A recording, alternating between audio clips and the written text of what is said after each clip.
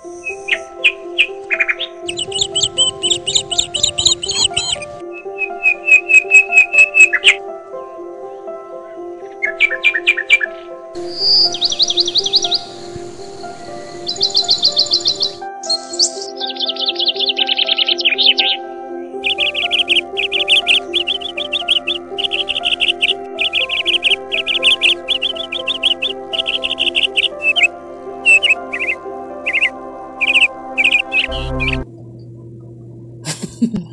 Hi guys, good morning, good afternoon, good evening. This is Mercy Asbel Vlog. Kung kayo ay bago lang sa channel ko, please hit the button below, hit the likes and share the button.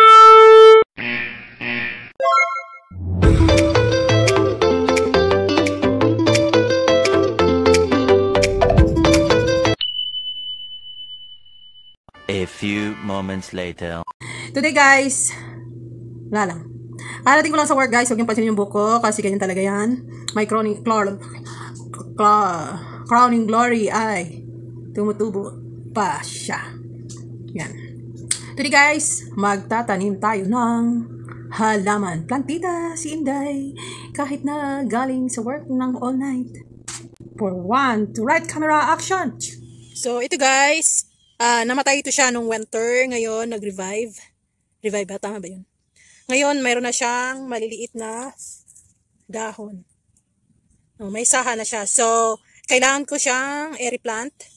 Ah, isa lang siya, so gagawin ko ng tatlo. Tatlo ang pwede ko magawa dito. So, this one, ready na yung dalawang pots ko na paglilipatan. So, magiging tatlo na siya. Isa din sa itatanim ko today ay ang binigay sa akin ni Ate Leslie from Walmart. Yan, yung kasama ko sa work. Binigyan kami ng pangtanim na luya. Which is, luya is my everyday life. Luya is life for me. So, every every day talaga, I boil the luya and I put some lemon on it. Yun yung pinakatubig ko pag nandito ako sa bahay. So, this is luya, a ginger. Ililipat natin siya. Ilalipat natin siya dito sa mga pots na to.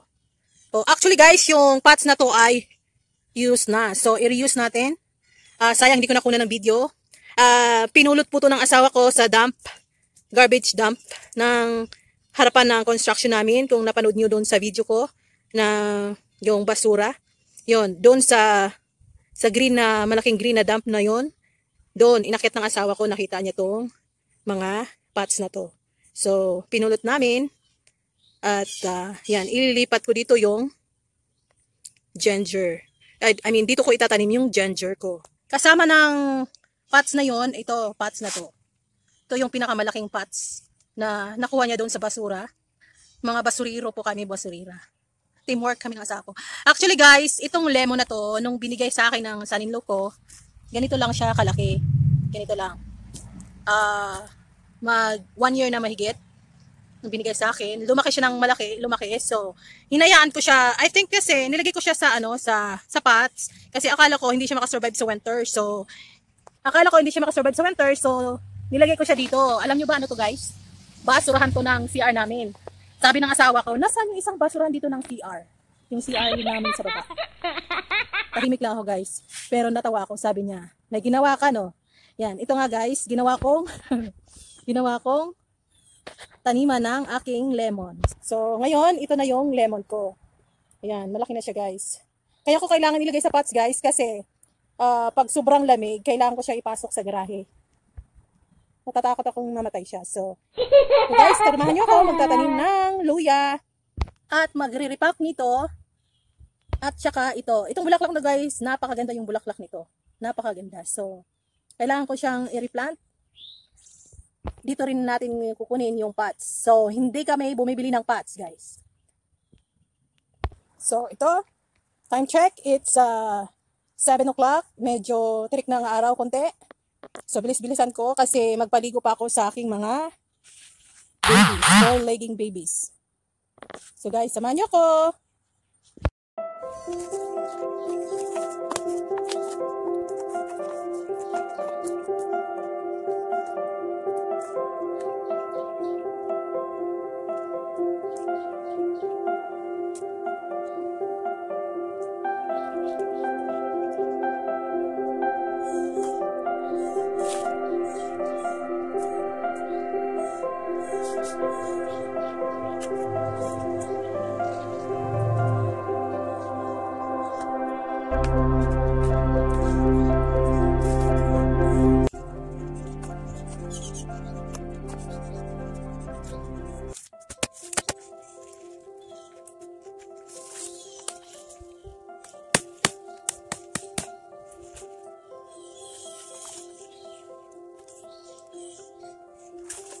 Sa sobrang dami niya, hindi na siya masyado nakagalaw.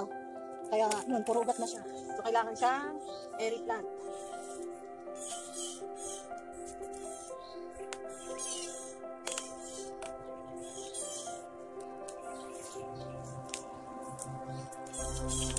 So, kailangan ganito. Hindi nakagalaw yung ugat niya kasi sobrang.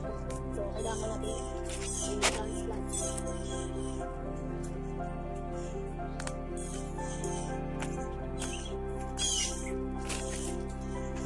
Guys, kaya ako masaya pag dalawa yung day off ko. Marami akong magagawa. Yesterday, halos kalahating araw na focus ako sa computer. The rest of the day, nag-inis ako. General cleaning. So, marami akong magagawa. Uh, next week, plano ko na namang mag-work ng anim na araw. Actually guys, sa pagdating namin dito doon sa bago naming bahay, ilalagay ko ito sa lupa para mas lalong dumami. So sa ngayon, temporarily, ilagay natin siya dito. So, ang isang pots nagiging 1, 2, 3, 4, 5. Nagiging lima siya. So, tapos, yung the rest na the rest ng pots na to ay pagtaniman natin ng luya.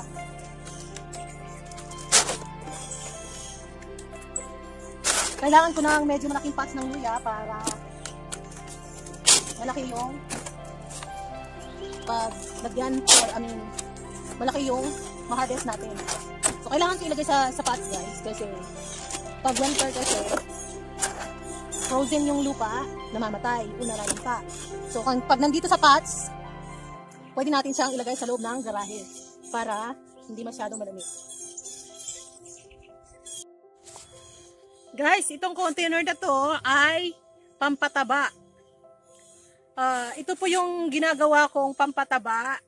Very organic. Gawa-gawa ko lang din. Pakita ko sa inyo. Ay! May uod na siya. Ah, yan, ito guys. Ito, dito ko tinatapon yung mga tira-tirang pagkain. Ayun. Tsaka, ito yung mga nilalagay ko sa plants ko, sa taas ng plants ko. Ah, yung sa top, tapos bu busan ko ng tubig. Yun. Nandyan lahat, yung mga balat ng saging, yun, mga balat ng gulay, dito ko itinatapon. Tapos tinatakpan ko siya, kaya yun oh. Yan. Tinatakpan ko siya kasi nilalangaw. Yun, yun po yung pinakapampataba ko. Actually, pwede naman tayong bumili, pero mas gusto kong subukan tong ganito. Ah, yan nga po yung ginagamit ko kung bakit lalong lumaki na tong itong aking lemon. Dati, hindi ko pa nilalagyan ng ganyan. Ang bagal ng, ang bagal ng ano niya, ng tubo. So, ngayon, nung nilalagyan ko ng ganito, malakas ang tubo niya. Amy! Amy, alis dyan, baby. So, ito yung ilalagay ko, guys. After ko itinanim, tatanim yung mga tatanim ko, ilalagay ko siya sa top. Tapos, saka ko diligan. So, pupunta sa ilalim yung pampataba. I mean, yung katas niya. So, yan guys.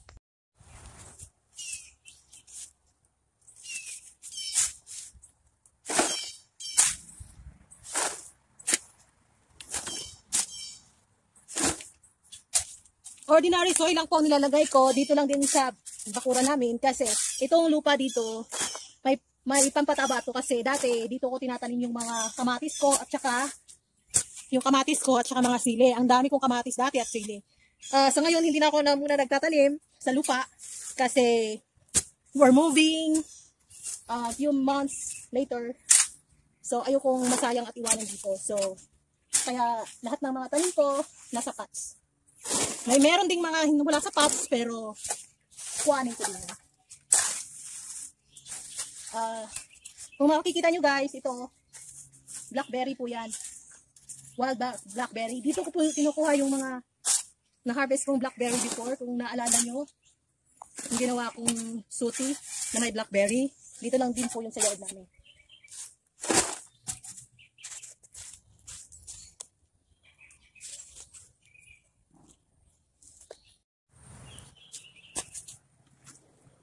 Hindi naman po picky yung ano, yung ginger.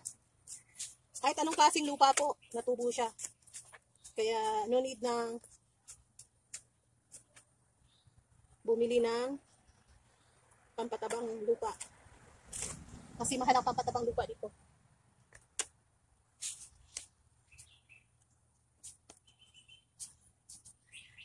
So, ilagay natin siya, hindi ganun kalaliman. Tama lang na ma malubog siya. Kasi kusa na siyang lulubog, yung gamot niya, yung ugat.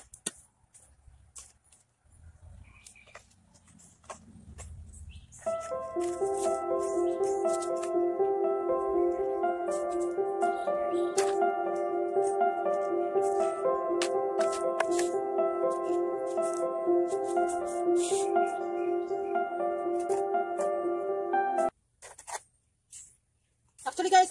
yung ano, yung ginawa kong pampatabang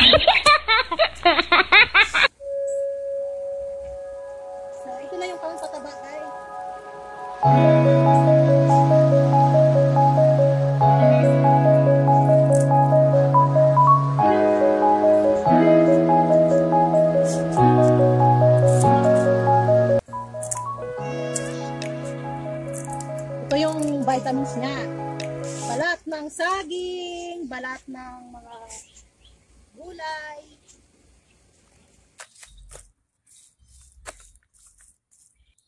Yan, kaya yung mga, ito, tingnan mo. Nandito pa yung pungangunang saging. Hindi pa siya nalanta. So, dyan lang yan siya.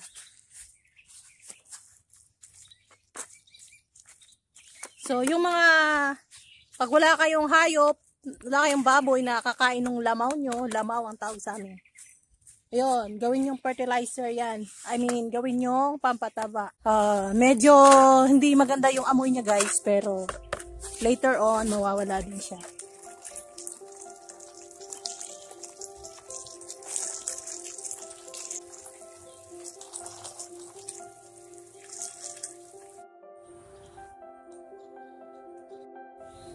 Ayan guys, may malunggay ako.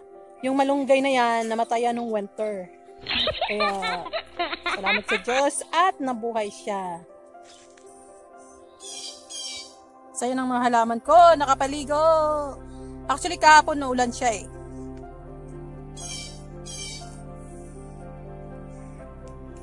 Ito ay isa lamang sa mga halaman ko dito sa aking likodan. Ito guys, since spring, namulakpak siya. Hanggang ngayon, nandito pa rin yung bulaklak niya. Nung spring, wala pang dahon to. Bulaklak lang. Ngayon, malaki na yung dahon niya. Natabunan na siya ng dahon. Pero andyan pa rin yung napakagandang bulaklak niya. So, wala siya sa pots guys. Nasa lupa siya. So, paglipat namin, hindi ko siya pwedeng iwanan. One of my favorite. Nakita nyo yung spring? Nung spring, dahon, ah, ano lang siya, bulaklak lang, walang dahon. Ngayon, ito na yung dahon niya. Yan. So, napakagandang klaseng bulaklak.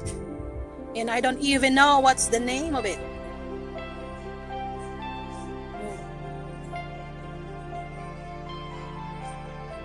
So, oh, may ubi din ako dito guys. May ubi din ako.